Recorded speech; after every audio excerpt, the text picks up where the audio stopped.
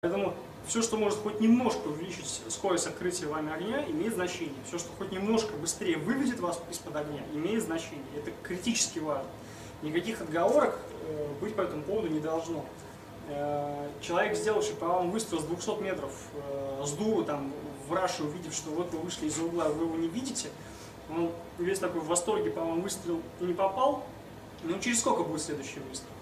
Но если он не очень хорошо подготовлен, ну секунды полторы он потратит. Ну да, значит, время вашей реакции, время выхода из-под огня. Вы думаете, вторым не попадет? Не факт. Если не попал первым, вторым уж точно. Почти наверняка, с таких-то дистанций. Это имеет значение, действительно важно. И об этом нужно говорить. Э, поэтому перевод оружия в направление и принятие изготовок для стрельбы и уход с линии атаки – это критически важные вещи. Я сейчас разобью это на э, несколько видео по разным уровням, что получится иначе очень долго. Я прошу внимательно, ну, насколько есть возможность это просмотреть и э, не нервничать по поводу того, что я сейчас стою, не шевелюсь и разговариваю.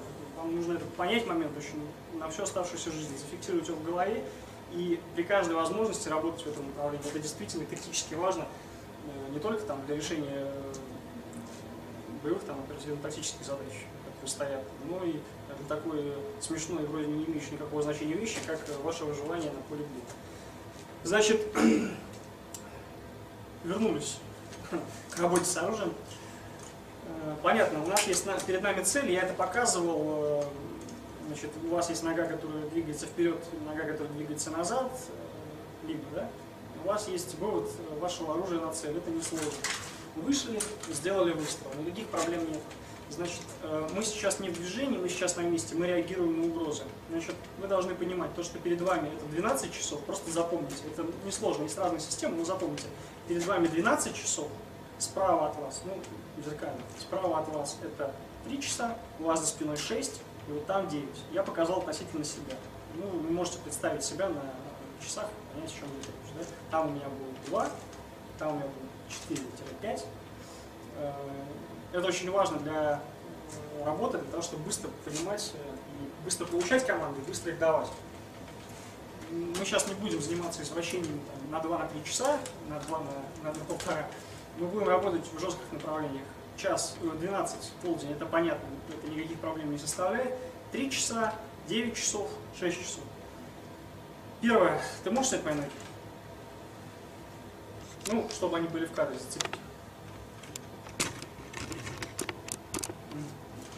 Значит, э, правило хорошего тона.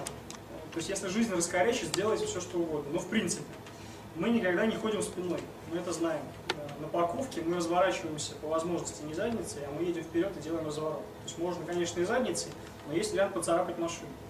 Поэтому, если вам нужно осуществить разворот, вы не делаете шаг пяткой назад. То есть, если я поворачиваюсь на 3 часа вправо относительно себя, я не, не делаю вот так. Я не могу сделать шаг туда, где я не знаю что. Потому что я работаю в команде, Потому что есть люди и вещи, на которые я не обратил внимания, там может быть все что угодно. Камень, булыжник, я могу ткнуться в него. Это просто элементарно неверно. Разумеется, есть ситуации, когда вы сделаете и так, когда раскорячитесь. Но затачиваться под это не нужно. Делать нужно грамотно, нужно осуществлять шаг носком вперед, ровно так, как вы ходите. Соответственно, поворот в ту сторону будет выглядеть вот так.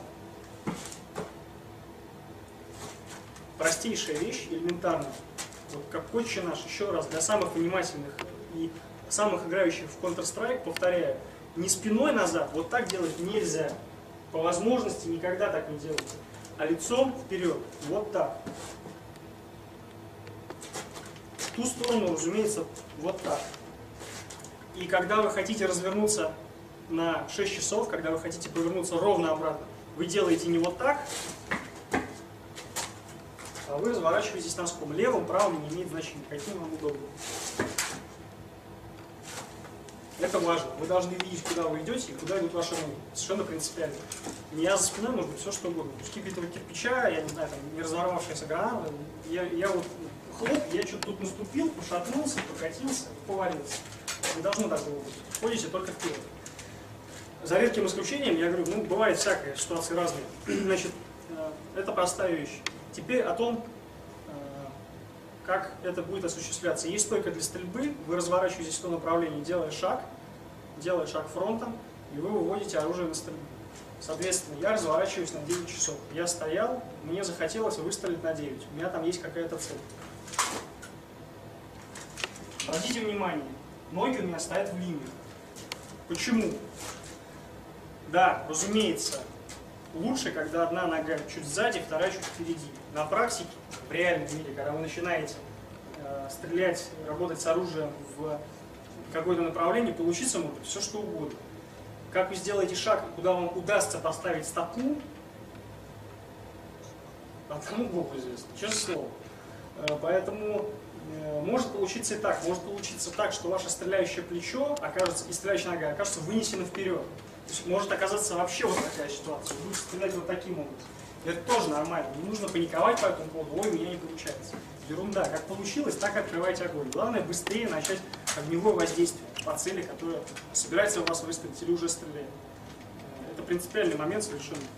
Значит, поворот в ту сторону. Я стоял, я сделал выстрел. Вернулся. Ну, я показывал со снятием предохранителя.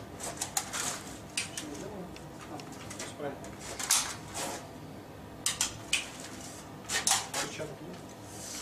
Значит, э, в ту сторону никакого значения.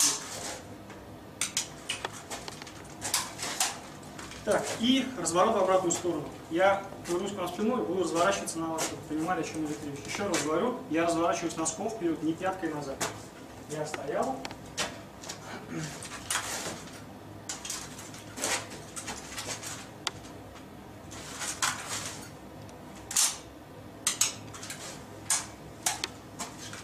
не принципиально.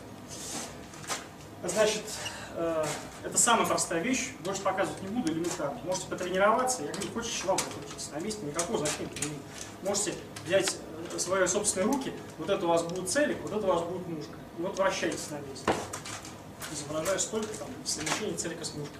Если имеете оружие, хотя бы игрушечное, хоть водяной пистолет, у которого есть специальное приспособление, при разворотах совмещайте целик с мушкой. В этом вся суть. Выберите какую-то точку, желательно произвольно.